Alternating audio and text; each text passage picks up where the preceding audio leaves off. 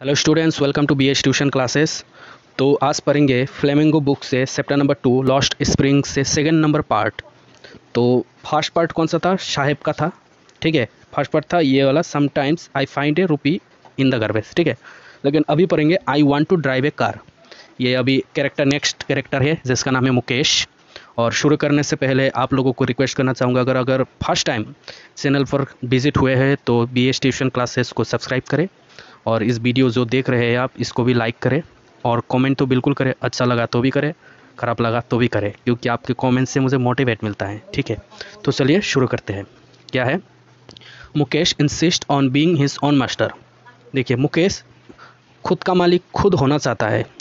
उससे पहला वाला क्या था कि Saheb is no longer his own master Saheb तो अपना मालिक नहीं था, ठीक है? दूसरे का गुलाम बन चुका था, लेकिन यहाँ पर मुकेश खुद का मालिक खुद बनना चाहता था।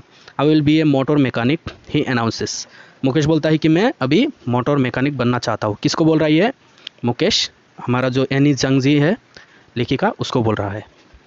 Do you know anything about cars I ask लेखिका बोलता है कि, क्या तुमको कार्स के बारे में कुछ पता है? और यहाँ पर बोलता है I will learn to drive a car मुझे, मैं गाड़ी चलाना सीखूँगा. He answers looking straight into my eyes मेरे आँखों की तरफ़ देखकर मुकेश एकदम बोल बोल दिया कि मैं गाड़ी चलाना सीखूँगा। His dream his dream looms like mirage amidst the dust of straight that fill his town Firozabad और उसका जो सपना है, ठीक है, वो मिराज की तरह है। मिराज क्या है? मिराज होता है इल्यूज़न ठीक है, जैसे कि अगर आप दूर से अगर देखेंगे कि उधर एक पानी पानी जैसा दिखाई दे रहा है, लेकिन सामने जाकर आप क्या देखेंगे? बेसिकली वो पानी है नहीं, वो आपका भ्रम है इल्यूज़न तो ऐसे तरह ऐसे तरीका का इधर बताया गया है कि कि वो जो फिरोज़ाबाद है, फिरोज़ाबाद में बहुत सारे लोग हैं, जिस जो लोग भ्रम में हैं, ठीक है? रास्ते में जो धूल की तरह है ना, धूल जितना धूल होता है, इसी तरह का उन लोगों का भ्रम है, कि वो ऐसा कर सकता है, वो उन लोगों का ड्रीम है, लेकिन वो ड्रीम सच होता नहीं है, ठीक है? भ्रम लेके बैठा हुआ है हर लोग। Famous for its bangle bangles और यहाँ का जो लोग है, या ये फिरोज़ाबाद किसके वजह से फ़ेमस है? बेंगल्स मेकिंग चूरी बनाने में, ठीक है? Every other family in Firozabad is engage in making bangles यहाँ के हर एक फैमिली मेंबर बेंगल्स बनाने में एंगेज रहता है। It is the centre of India's glass blowing industry where families have spent generations working around furnaces, welding glass making bangles for all the women in the land is seems तो यहाँ पर क्या बताया, देखिए, यहाँ के लोग जो है, बेंगल बनाने में बिज़ी रहता है और या it is the centre of India's glass blowing industry और चूरी चूरी बनाने का पूरा इंडिया में से ये सेंटर है, फिरोज़ाबाद चूरी बनाने में, ठीक है? यहाँ के जो लोग हैं ना ये चूरी बनाने में, ठीक है, भट्टी में बेजी रहता है। भट्टी में चूरी बनाना वेल्डिंग ग्लास मेकिंग बेंगल्स ये सारे कामों में बिज़ी रहता है। और ये बताया गया है कि इस दुनिया में जितने सारे औरतें हैं, उनके लिए चूरी शायद यहाँ पर ही बनता होगा। ठीक है? उसके बाद देखिए Mukesh family is among them और यहाँ पर जो काम करता है भट्टी में, चूरी बनाने में मुकेश के फैमिली भी उनमें से एक है। None of them know that it is illegal for children like him to work in the glass furnaces with high temperature किसी को शायद पता नहीं होगा कि बच्चा यहाँ पर काम करना एक इलीगल है।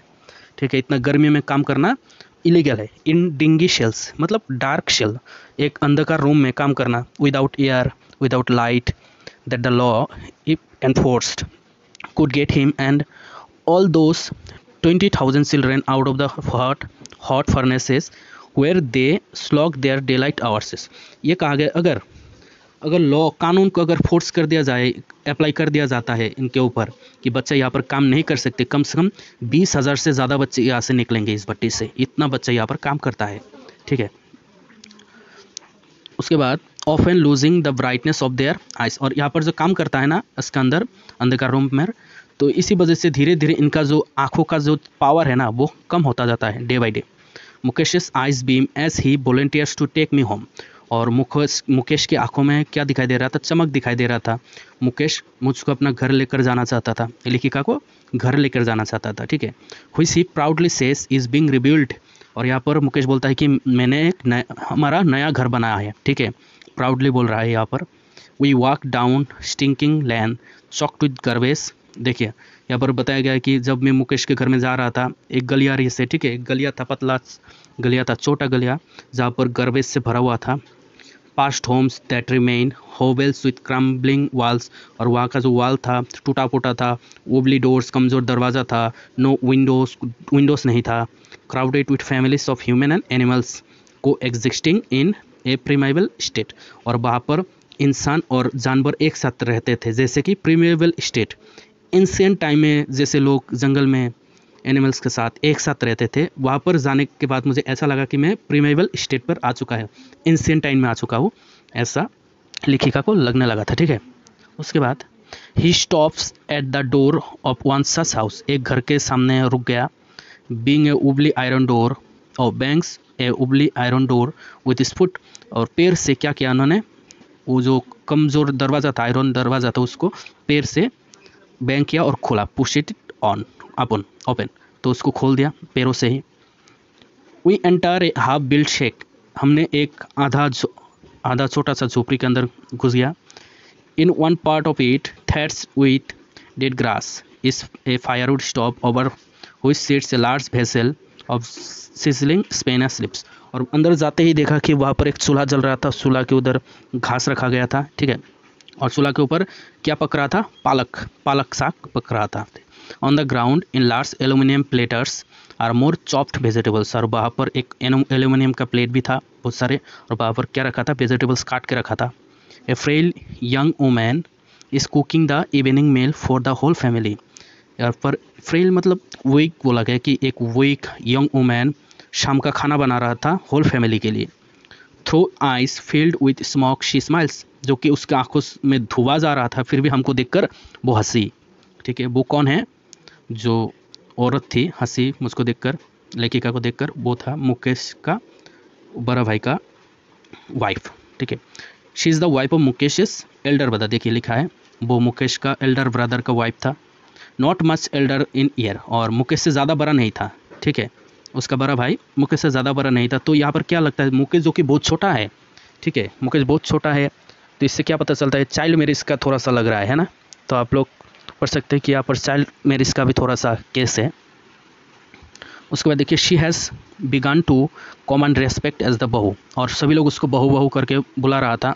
और इसका इंग्लिश में क्या बोलते हैं? Daughter in law of the house house का daughter in law already in charge of the three man और ये तीन लोगों का मतलब तीन लोगों को संभाल रहा था। किसको संभाल रहा था? ये daughter in law her husband Mukesh and their father ठीक है हस्बैंड को मुकेश को और मुकेश जी का पिताजी को, तीन लोगों को संभाल रहा था। When the older man enters older man मतलब मुकेश के पिताजी। मुकेश के पिताजी जब घर में आए she gently withdraws behind the broken wall और मुकेश की जो भाभी थी, वो एक टूटा फूटा वाल के पीछे जाकर सिप गई। ठीक है? मतलब इसके, इससे क्या पता चलता है कि सम्मान देना, औरतें अगर बड़े घर में आते हैं तो सम्मान देते हैं। ठीक है? ब्रिंग्स आर भेल भेल मतलब घूंघट।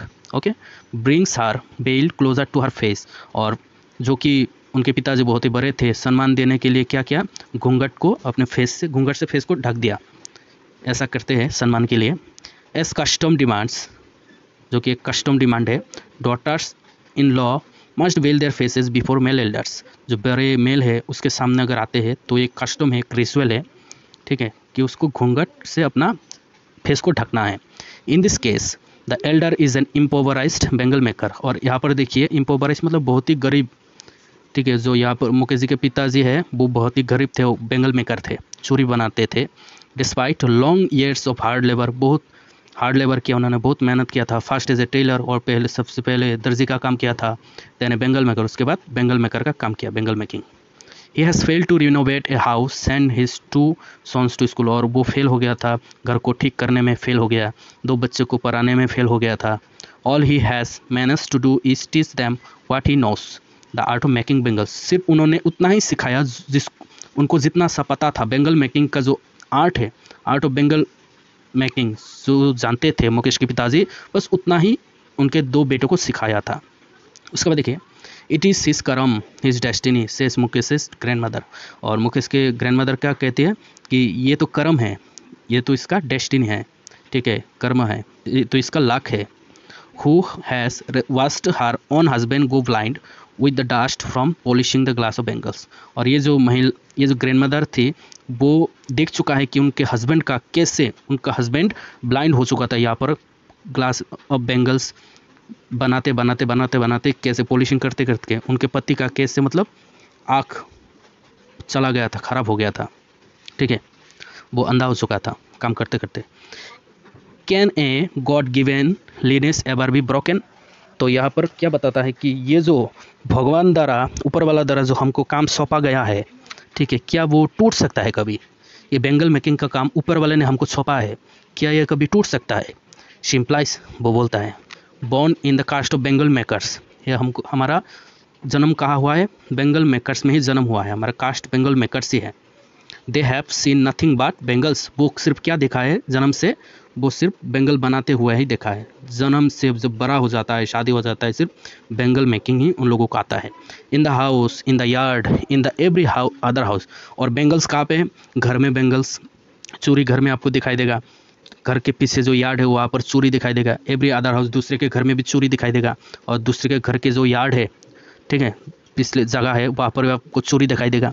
Every other yard every street in Firozabad और फिरोजाबाद के हर एक गली गली में आपको क्या दिखाई देता है? चूरी दिखाई देगा। बेंगल्स स्पायरल्स ऑफ़ मतलब varieties okay spirals of bangles और कितना तरह का वेराइटीज़ होता है बेंगल्स में, चूरी में? ऐसा होता है सानी गोल्ड कलर का होता है paddy green royal blue pink purple every colour born out of seven colours of the rainbow और रेनबो का जो सात कलर है, उसको मिलाकर जितना कलर होता है, हर एक कलर का यहाँ पर चूरी मिलता है। लाई इन माउंट्स इन अनकैम्प्ड यार्ड्स और वहाँ पर जो बिना सजाए एक माउंट की तरह रखा पड़ा है। कहाँ पर? फिरोजाबाद में। उसके बाद are piled with piled on four wheeled hand carts और वहाँ पर हैंड कार्ड्स में लोग लेकर जाता है ये चूरी by post of young man along with the narrow lanes of the shandy town और गली गली में खींच के, ठीक है खींच खींच के ठेला से लेकर जाता है चूरी को किसके लिए? बेचने के लिए, ठीक है? And in dark hutments next to lines of lamps of flickering oil lamps sit boys and girls with their fathers and mothers welding pieces of coloured glass into circles of bangles तो क्या करते हैं जो बच्चे होते हैं? ठीक है गर्ल्स एंड बॉयज़ जो माताजी, पिताजी, वो जो ऑयल लैम्प को फूक मारते रहता है, वहाँ पर जाके बैठ के वो चूड़ियों को आकार देता है, ठीक है, चूड़ी बनाता है पीस को इकट्ठा करता है। Their eyes are more adjusted to the dark than to light outside और उन लोगों के जो आँखें हैं, बच्चों का आँखें, वो अंदर, अंधकार में ज़्यादा एडजस्ट हो जाता है। ठीक है, बाहर उन लोगों का आँखें एडजस्ट हो नहीं पाता है क्योंकि अंधकार में रहते रहते रहते रहते डार्क में रहते रहते उनका आँख एडजस्ट हो जाता है। That is why they often end of losing their eyesight before they become adult और बड़े होते होते उनका आँखें ख़राब हो जाता है आई साइट ख़राब हो जाता है, ठीक है? आँखों का पावर लॉस लॉस हो जाता है उनका। उसके बाद देखिए शविता ये young girl in a drab pink dress, drab मतलब फेडेड और शबिता जो है, वो पिंक कलर की साड़ी पहना हुआ है, ड्रेस पहना हुआ है, जो जिसका कलर थोड़ा सा ख़राब हो चुका है।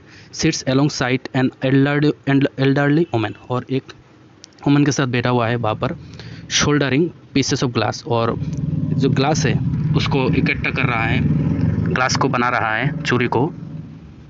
As her hands move mechanically like the tongs of a machine और इतना जल्दी जल्दी हाथ इतना फास्ट जा रहा था कि जैसे एक मशीन काम कर रहा हो, ऐसा।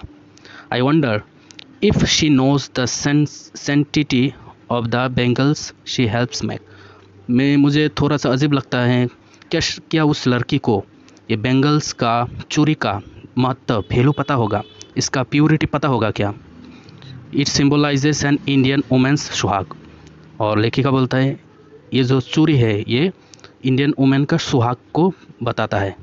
ठीक है, चूरी मतलब सुहाग। ऑस्पेसियसनेस ठीक है। ऑस्पेसियसनेस इन मैरिजेस और मैरिज के लिए शुभ माना जाता है चूरी को।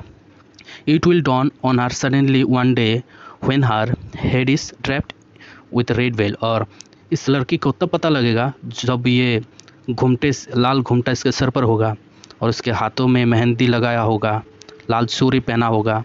हाथों में, तब उसको जाके पता लगेगा इसका value she will then become a bride तो वो एक क्या बन जाएगी? बहू बन जाएगी, ठीक है?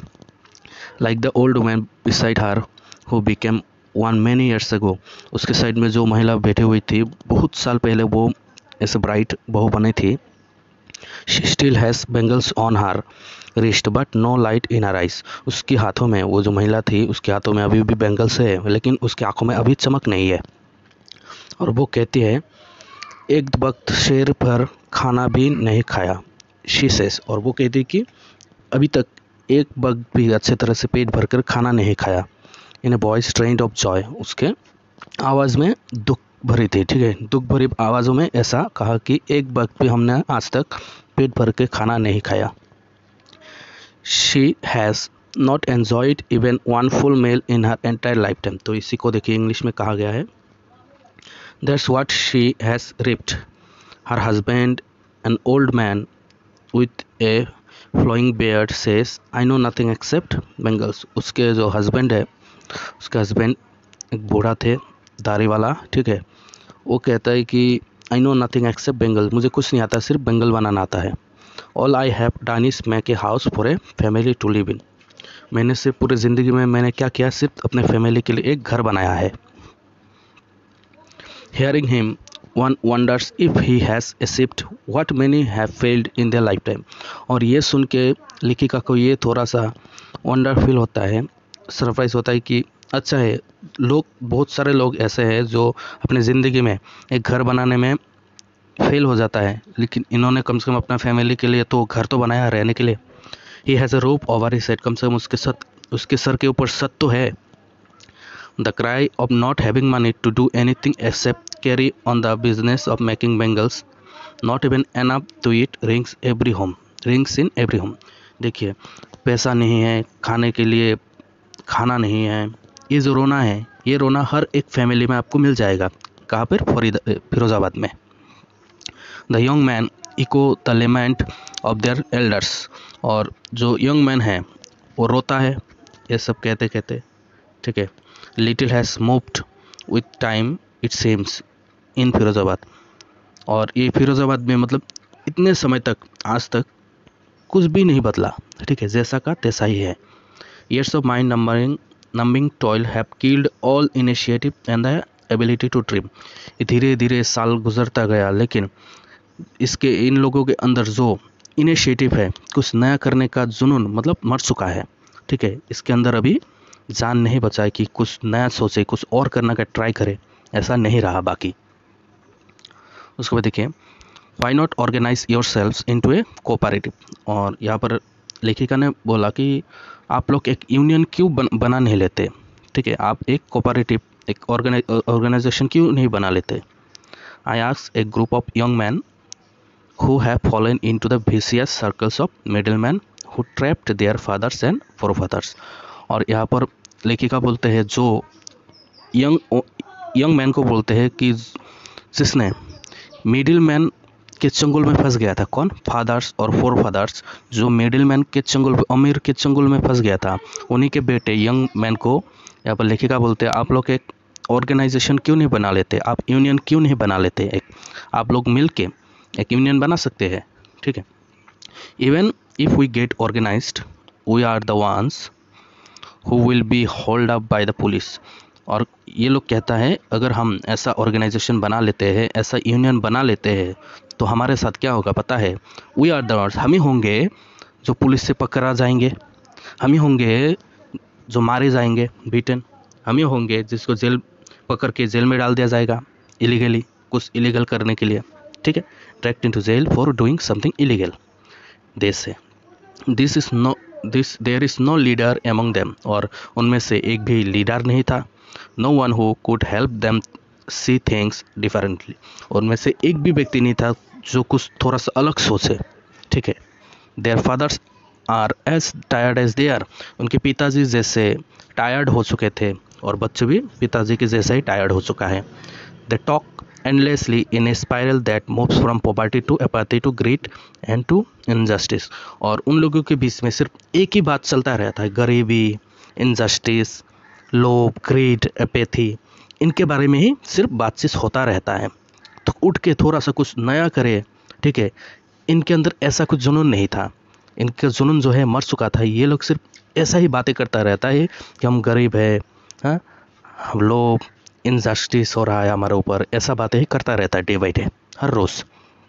उसके बाद देखिए listening to them I see two distinct world और उनको सुनने के बाद मुझे दिखाई दे रहा था कि दो दुनिया थे, ठीक है? दो दुनिया के बारे में मुझे पता लगा। One of the family caught in a web of poverty एक फैमिली ये रहा कि एक फैमिली गरीबी के चुंगल में फंस गया था। Burdened by the stigma of caste और कास्ट के चुंगल में फंस गया था। कास्ट का जो बोझ है। कास्ट मतलब कौन सा कास्ट? ये बेंगल मेकिंग बनाने वाला पॉवर्टी जो लोग है, गरीब रेखा के अंदर, ये भी तो इनके लिए कास्ट ही है। Stigma of caste in which they are born. ऐसा कास्ट में जो उन्होंने जन्म लिया है।